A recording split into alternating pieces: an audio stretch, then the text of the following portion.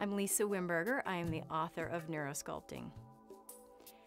When is it too late to start following your dreams?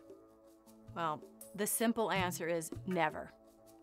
The realistic answer, never. So let's talk about this because so many of us feel like we can't pursue our dreams. We're too old, we missed the boat, whatever that story is for you.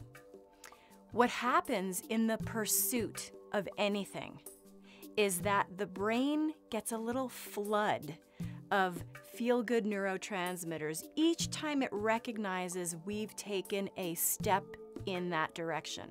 So every time there's a milestone met, no matter how small, the brain gets to check it off, and a little burst of feeling good happens in the brain. And this burst gives us a little bit of inspiration and momentum to take the very next step. This is a way to self motivate, is to take a big dream and break it into tiny little segments, the tiniest of segments, so that each and every day your brain might feel a little sense of checking off one more thing on that list. And you can start to self generate a momentum and inspiration that happens from meeting these tiny little milestones. But some of you might already know that. You might already know that making lists and checking things off helps tease your brain into momentum. But maybe you're still not able to pursue your dreams. Here's one more clue I want to give you. There are two ways for us to get motivation towards our goals.